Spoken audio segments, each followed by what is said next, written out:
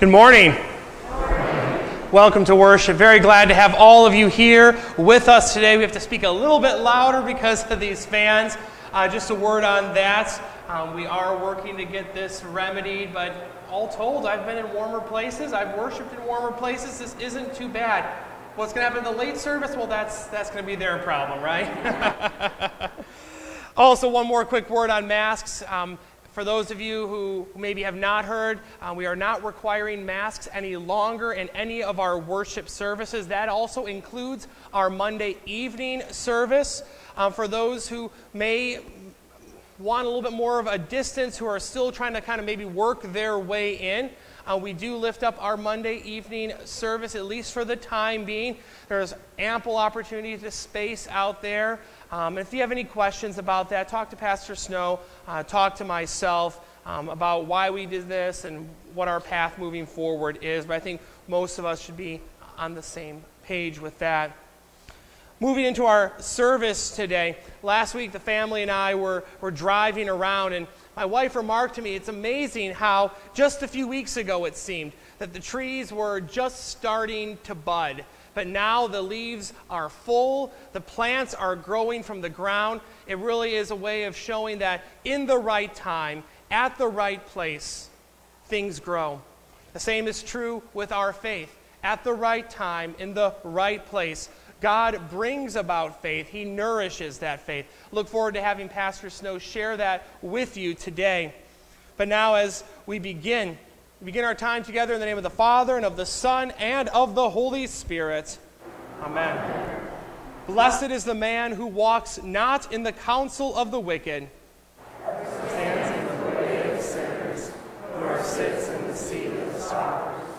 But his delight is in the law of the Lord. On his law he meditates day and night. He is like a tree planted by streams of water that yield its fruit in its season.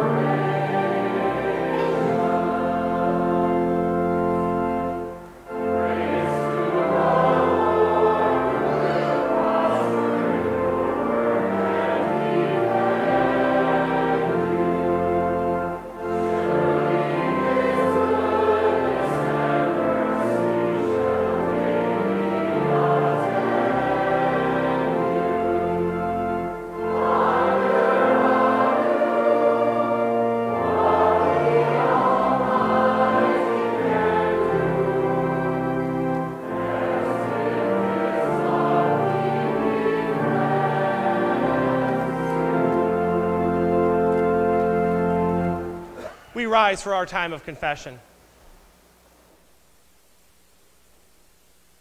If we say we have no sin, we deceive ourselves, and the truth is not in us. But if we confess our sins, God, who is faithful and just, will forgive our sins and cleanse us from all unrighteousness. Let us then confess our sins to God our Father. Most merciful God, we confess that we are by nature sinful and unclean. We have sinned against you in thought, word, and deed, by what we have done and by what we have left undone. we have not loved you with our whole heart. We have not loved our neighbors as ourselves. We justly deserve your present and eternal punishment. for the sake of your Son, Jesus Christ. Have mercy on us. Forgive us, renew us, and us, and to the glory of your name. Amen.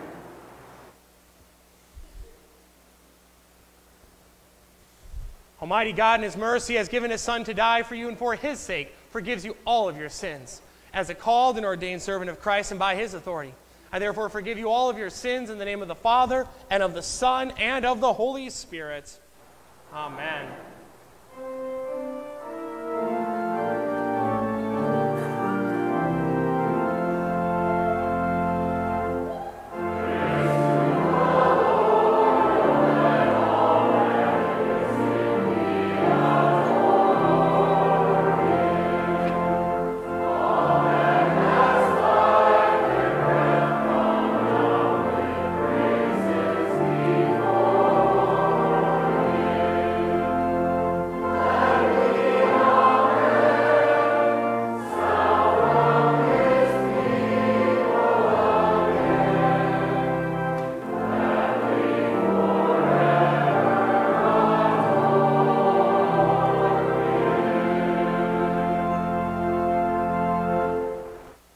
Almighty God, you alone as creator sustain and provide for this wonderful creation and for all that we need for our body and life.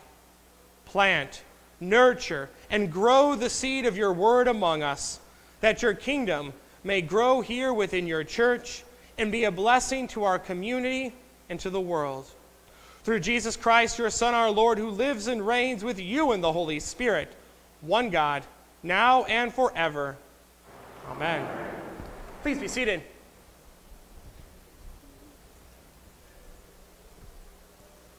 Our Old Testament lesson appointed for today comes from Ezekiel, the 17th chapter, beginning with the 22nd verse. Thus says the Lord God I myself will take a sprig from the lofty top of the cedar and will set it out. I will break off from the topmost of its young twigs a tender one, and I myself will plant it on a high and lofty mountain. On the mountain height of Israel will I plant it, that it may bear branches and produce fruit and become a noble cedar. And under it will dwell every kind of bird. In the shade of its branches, birds of every sort will nest. And all the trees of the field shall know that I am the Lord. I bring low the high tree, I make high the low tree. Dry up the green grass and make the dry tree flourish.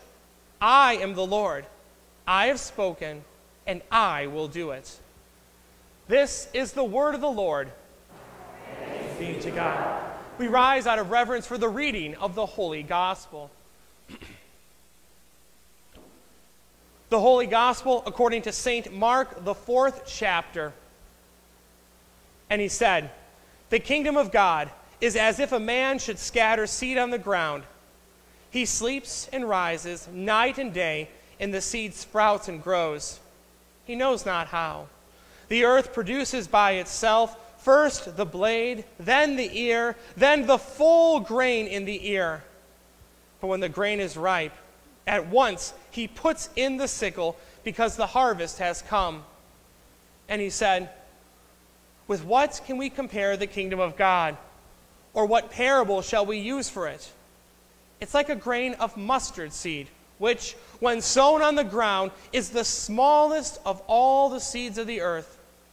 Yet, when it is sown, it grows up and becomes larger than all the garden plants and puts out large branches, so that the birds of the air can make nests in its shade. With many such parables, he spoke the word to them as they were able to hear it. He did not speak to them without a parable, but privately to his own disciples, he explained everything. This is the word of the Lord. By the congregation to be seated.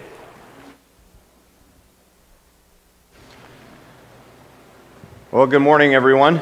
It is uh, great to be here, great to um, have such a full uh, sanctuary today. I debated um, whether to have the kids come up yet, and I think I'm going to wait just for another week or so uh, before that happens. But you parents can be talking about that. I don't want to have um, you make that decision on the fly and have kids um, saying, I want to, or no, I don't want to. So just know that that's coming. I look forward to a time when, uh, when we can have the kids up front again.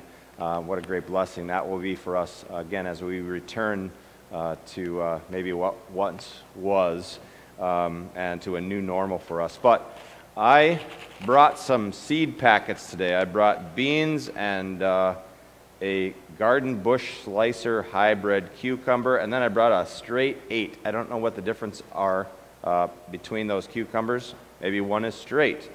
Um, some dill, some rosemary, and what do, what do we have to do to these, right? Will they grow right here in this packet? They're not going to grow in this packet, right? What, we, what do we have to do? We have to plant them. Uh, turns out I haven't had a lot of extra time, and these really are going to go in my garden, and um, we'll pray for a, a, a late winter. Uh, let's see how that goes. Or if you have things in your garden that are growing, and you think, yeah, pastor's garden is not going to grow anything. But when, when we put these, when I put these seeds into the ground, then do they just grow by themselves? Do we have to take care of it? Would I have to take care of my garden? I have to pull the weeds. I have to water. I have to be patient. I have to wait sometimes. But can I make this grow? If I put them in the ground and I say, hurry up and grow, will they grow right away? I'm behind. I haven't even put it in the ground and it's mid June. I need you to hurry. Can I hurry up my garden? I can't. Uh, turns out that's all up to God, and it's His timing. Because no matter as much as we want something to grow or to stop growing, sometimes uh, you kids are growing so fast, and your parents might say, Stop growing so fast. I want to enjoy what I have. Or maybe they don't like uh, the season that they're in and saying, Hurry up and grow. Um, there is the growth that comes only from God, and that He allows us to plant and to water and to, uh, to take care of those things that are around us so that in His time, which is always perfect, knowing that the Lord blesses us with the growth, uh, growth of our faith. He plants the seed of faith into our hearts when we're baptized. And then your parents are, are nourishing and growing and making sure you get enough sun and enough water and uh, that there are not weeds around you so that you can grow into the man and woman that God has created you to be. So the Lord bless you today as you know that God's timing is perfect even when ours is not, and that the growth belongs to Him alone. Thanks again. Uh, consider that uh, as, as uh, these weeks come on um, so that we're not surprising you uh, when we say, hey, kids, come forward. Um, you know that that time, too, is coming in His time.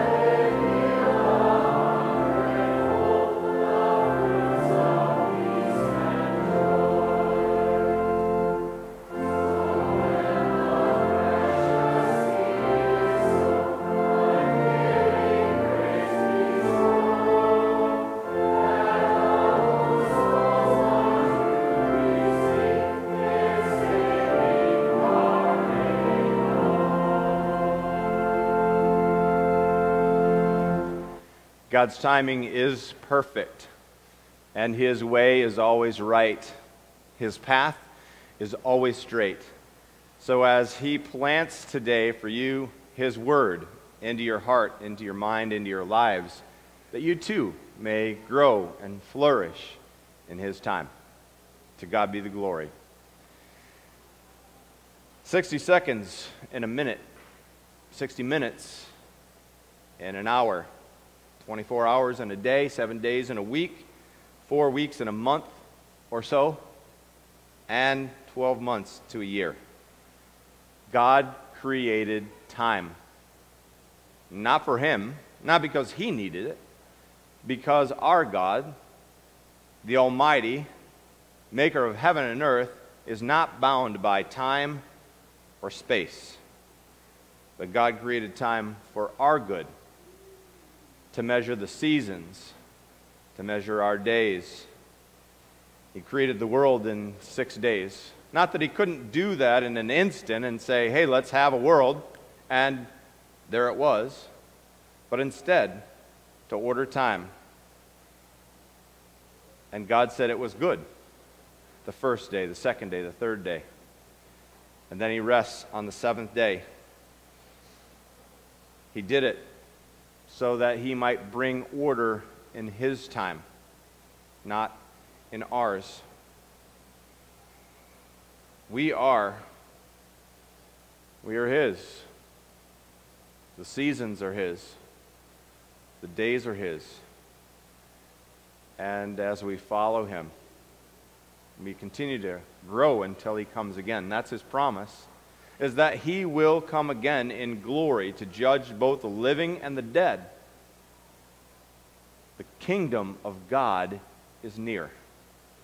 The parables that we have uh, in the gospel lesson today, those parables, as Jesus spoke in parables, and without parables, he didn't speak to them because they couldn't bear to understand all that was happening. And so he speaks in familiar terms. They knew what farmers were, they knew what seed was, they knew that there was soil and water and time. The farmer, nothing like a farmer. Think of the farmers that you know. Maybe you don't know any but I know quite a few. And as I talk to them in these drought filled days, there is one thing on their lips, one thing on their minds, and it's rain. And I would say, What are you going to do? How's the crops? We need rain. Yeah, we sure do. And they say, Well, it's not up to me. We pray for rain, but it's in God's time. God's providence to deliver. We can't make those seeds grow. And as they sprout, uh, they need the, that nourishment. But it has not yet come. But make no mistake, in God's time, in God's time, He will send the rain for our yards, for our gardens, and for the farmer's fields. It doesn't all happen at one time, this growth, when it does come. First, the blade, then the ear, then the full grain. But the harvest has not yet come. Every day that the Lord does not come for us, we pray, Come, Lord Jesus. And every day that the Lord does not come shows his long suffering, shows that he is patient, showing that he wants all people to be gathered into his barn in the end of time. We say, Hurry up, Lord. Change our life, Lord. By the decisions we have made or the ones that we have not made. By not planting my garden yet, I made a decision that maybe that's not the first thing on my to do list. Is it important? Yeah. Will I plant it? Yeah, probably today because you'll ask next week. Uh, you got your garden in? God's timing is perfect in all ways and all times. As we want more, faster, and we want to see the end result in an immediate fashion 60 minutes in an hour, 24 hours in a day. In God's timing, it is for us. Patience. It's not something that we're very good at. How much time do we have left? When do I have to have it done? Look how I've spent my time. We have squandered it. We have wasted it. We have maybe tried to take as much care of that time as we could, yet it gets away from us. Our timing is not perfect, but God's is.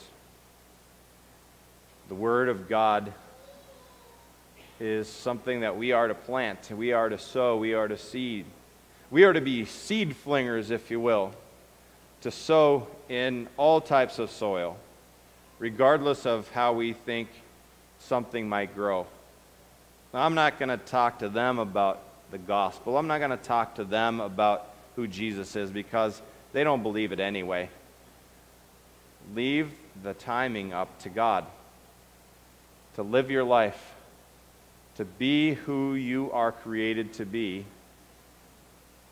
by the Lord's timing, by the Lord's hand, that He has created you in uh, His image, an image that only Jesus can restore.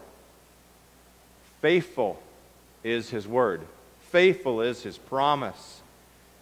And the time will come when He will gather all who believe in Him into His uh, garden, into His uh, heavenly mansion. These parables starts out small and it grows even though we can't see it even though we fully don't understand how it works. I mean you talk about germination of a seed you can talk about um, how much and the temperature of the soil. Most of us don't know that. And even as much as we know we cannot make it grow. That is by God's hand. I want to introduce you today to a young man from Seoul, Korea, that he did not grow up in a faith filled home, but he came to Mayer Lutheran and he heard the word, and it was planted. And he went home for the summer, but he came back. For four years, this young man studied for four years. This man lived in a faith filled home. For four years, the family that he lived with did not press on him, did not push him, did not make him do something that was not his own. He was not baptized until last week. He goes home today, I think. He said to his uh, parents here in the United States, I think it's time to be baptized. What? What do you mean? You want to be baptized? Yeah, I think it's time. I asked him before I baptized him uh, in the lake about a half hour from here.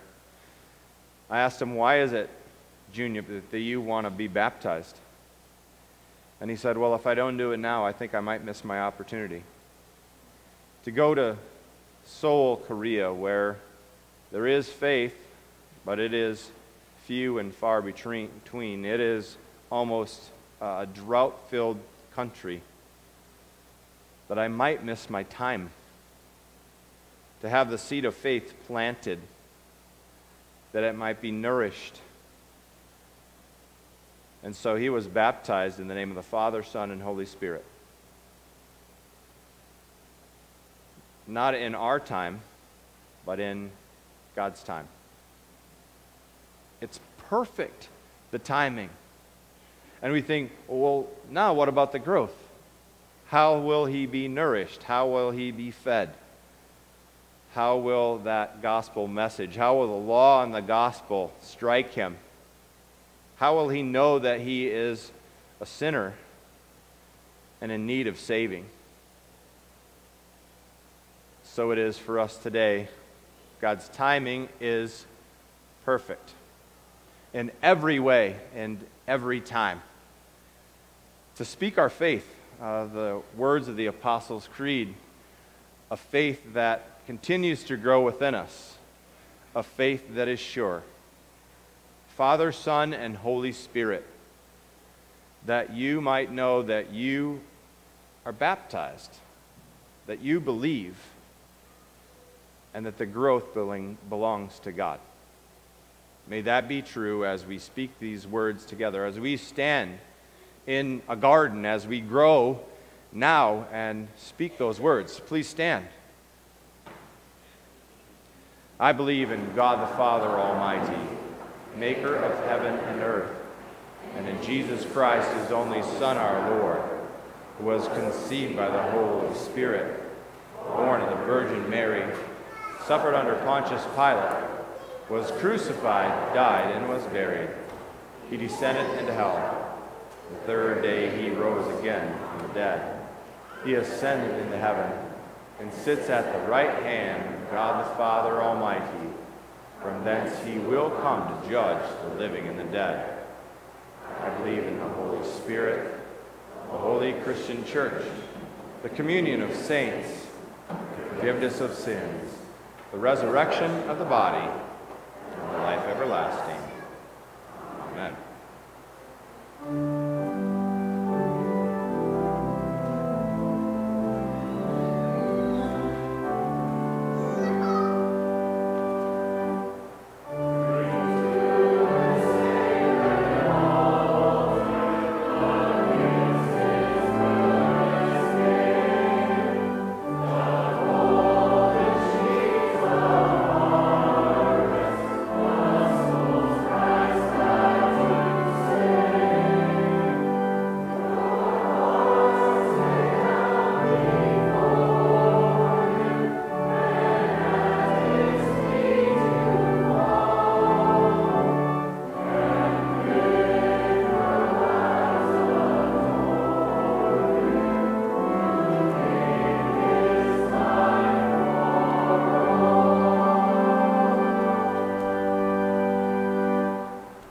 With all of our heart, soul, mind, and strength, let us pray to the Lord, saying, Lord, in your mercy, hear our prayer.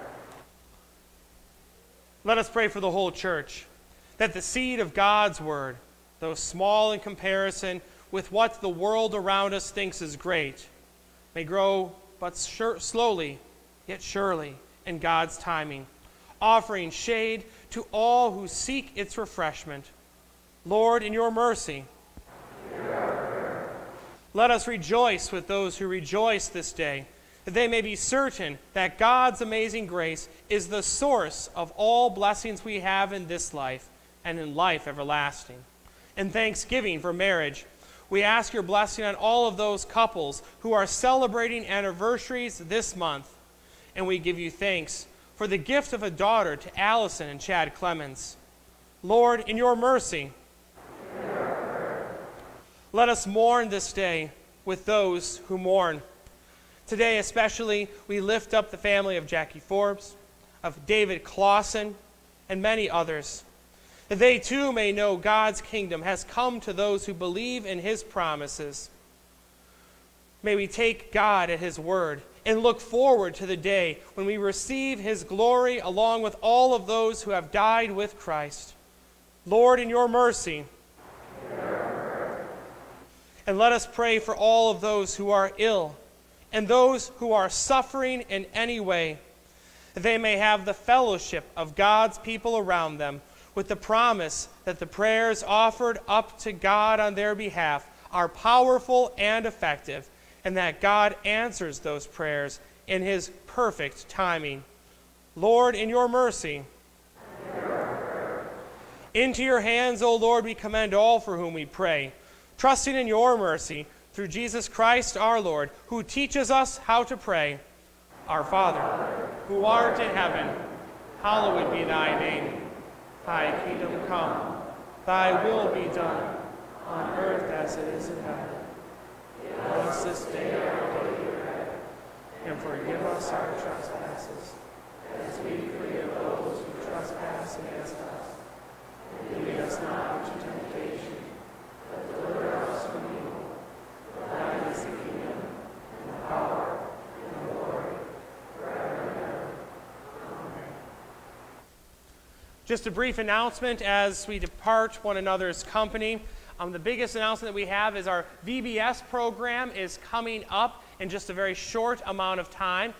If you are interested in volunteering, we'd ask you to please sign up through our church's website today if possible. It would help us make sure we have enough volunteers and in the right places.